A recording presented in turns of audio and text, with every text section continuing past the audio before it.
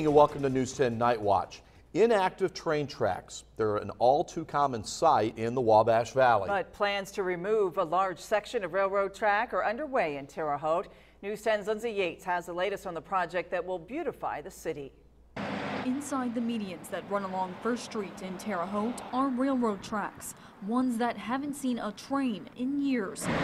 But removing them, That process just takes time. efforts that city engineer Chuck Ennis tells us have been underway for 10 years and have been anything but simple. They have to be sure that they're not going to use the tracks ever again, because once they come out, they come out and never to come back in. And soon these tracks will be history.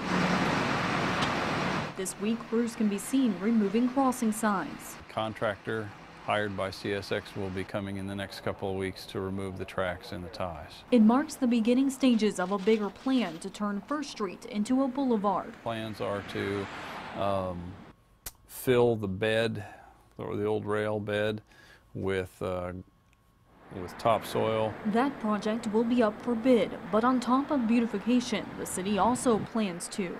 Put some turn lanes in on some of the uh, select intersections to give a little more room for traffic to get around. And while plans are chugging along, Ennis says exact dates haven't been set. We'd like to get a, a good bit of it done this fall. To make your First Street drive a little more pleasant. In Terre Haute with photojournalist Gary Bryan, Lindsay Yates, News 10.